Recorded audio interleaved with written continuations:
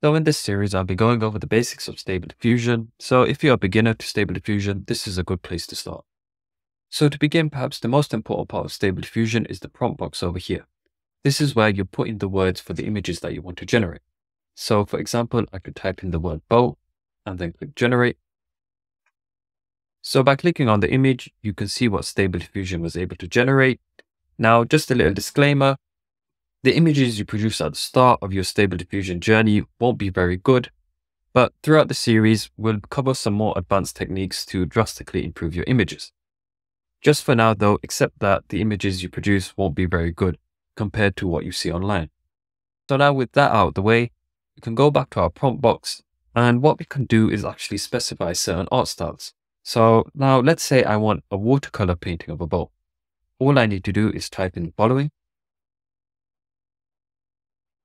and then click generate. And now by clicking on the image again, you can see that Stable Diffusion has tried to generate it. And if I'm not happy with the generation, I could just click generate again and get a different image. Now, another cool thing we could do with the prompt box is specify artists' names to get images in their style. So as long as the artist is somewhat famous, so for example, I can put in by Thomas Cole, a famous landscape artist, and then click generate. And you can see that Stable Diffusion has been able to generate the image in his style. Now carrying on, we have something called the negative prompt box over here.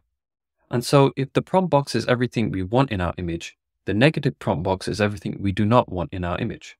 So let's say when I keep generating this image of a watercolor painting of a boat, I keep getting mountains within my image. I don't want this. So all I need to do is specify the word mountains within my image and then click generate. And now Stable Diffusion has produced a painting without no mountains in it. And I can take this a step further. Let's say that I don't want any clouds in my image. I can now type that into the negative prompt box and then click generate. And now Stable Diffusion has produced an image where there's no mountains and no clouds within the image. Now the last thing I want to show you is prompt weighting. Now to do this, I'm going to change the prompt. So I'm going to do a castle this time and take out the negative prompt box and then generate the image. So Stable Diffusion generated an image of a castle like we expected. But what I want to bring to your attention is that so far, every single word that we put into Stable Diffusion, so a castle by Thomas Cole, is given equal weighting to Stable Diffusion, meaning that no specific word has priority over the other. So just to clarify what I meant here, although no words have priority in terms of weighting, the actual words that you put at the start of a prompt usually have a much more stronger effect on the final image than the words later in the prompt. However, looking at it purely in the terms of weighting, all of the words have the same weight, despite the fact that the words at the start of the prompt have a stronger effect. So, for example, if I now put in on fire and then click generate, now Stable Diffusion generated the image, but it didn't give any sort of special preference to any of the words.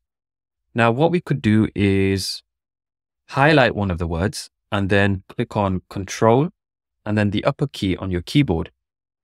And then you should be able to change the prompt weighting. Now, what I've done here is set the on fire word to 1.3, meaning that Stable Diffusion will now give it a higher preference when generating the image. And now if I go click generate, now Stable Diffusion has generated the image, but what you should be able to see is that the fire is now more prominent in the image than it was before. Now I could do this again. I could take it up even higher. So I can change this 1.3 to a 1.7 and then generate the image. And now the image has been generated, but if you look closely enough, you can tell that the actual whole castle is on fire this time, whereas before it wasn't completely on fire. And so that's what prompt weighting does. Now there's two things to note with prompt weighting. One is all your words have a default weighting of one, and if you want to change your weighting of a certain word, I recommend that you don't change it anywhere above two, because after that, if you change it to a really high number, then weird stuff can start happening within your images. So if I take this to a really high number like five and then click generate, you can see that the image generated bears no resemblance to a castle on fire. So if you are using prompt weighting, always try to keep it between the 1 to 2 range.